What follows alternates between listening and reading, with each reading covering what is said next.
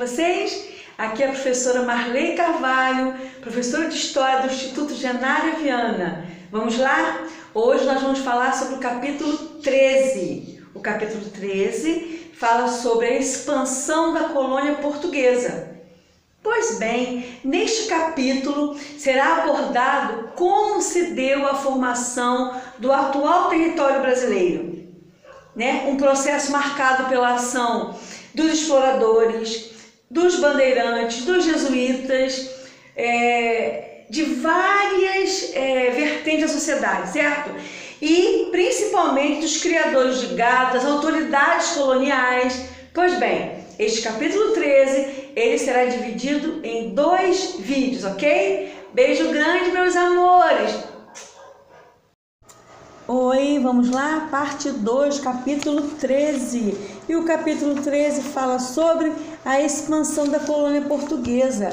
E agora vamos ver a colonização da região norte.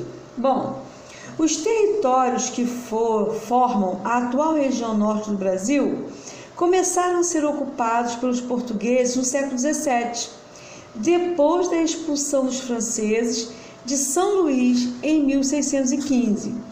As autoridades metropolitanas temiam que outras expedições estrangeiras voltassem a se instalar na Amazônia. Por isso, decidiram usar a capitania do Maranhão como ponto de apoio para a ocupação amazônica. Bom, estou falando então da colonização, tenho que falar também das missões religiosas. As ordens religiosas também exerciam um papel relevante no processo da colonização do norte da colônia. O destaque fica por conta dos jesuítas, que nas primeiras décadas do século XVII se embrenharam pelo interior da floresta, fundando aldeamentos com o objetivo de converter os indígenas à fé cristã. Os jesuítas também se envolveram na extração das drogas do sertão, a coleta dessa, dessa drogas do sertão foram feitas pelos nativos e os jesuítas vendiam as mercadorias para a Europa, obtendo lucros elevados. A coleta e a venda das drogas do sertão impulsionaram a economia da região amazônica, contribuindo para ampliar a colonização dessa parte da América. Bom, mas se eu estou falando das drogas do sertão, é claro que eu tenho que falar um pouquinho é dessa expressão que era utilizada para denominar uma variedade de produtos que existiam na região da Amazônica, ok? Bom, vamos falar. Ah, sim. E quem eram essas drogas? O que eram essas drogas do sertão? Eram cacau, castanhas, pimentas, baunilha, cravo, castanhas e etc.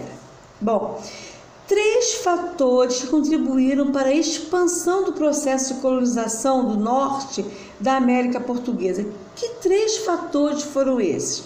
Bom, primeiro, a construção dos fortes. Já falei lá na primeira parte da explicação, em torno dos quais surgiram diversas cidades. A exploração das drogas do sertão, acabei de citar.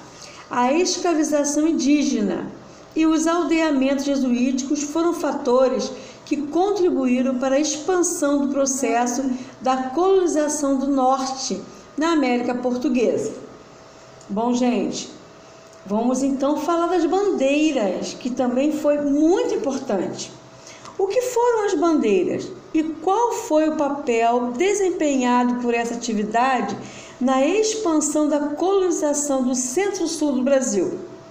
As bandeiras foram expedições organizadas pelos moradores da Vila de São Paulo e arrecada... tinham como objetivo capturar indígenas nas proximidades da vila e escravizá-los.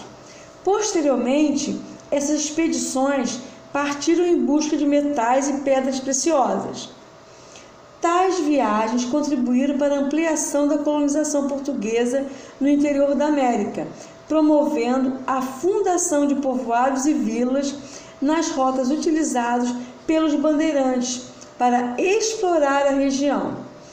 Também temos que falar sobre o sertanismo de contrato. E o que foi o sertanismo de contrato? Foram expedições de bandeirantes contratados por autoridades coloniais ou grandes proprietários de terra para destruir os quilombos, perseguir escravizados, fugitivos ou indígenas que ameaçavam a produção de açúcar e de outras riquezas coloniais. Agora nós vamos fazer uma relação, uma relação sobre o processo de interiorização da colonização portuguesa na América com a descoberta de ouro que aconteceu a partir do século 17.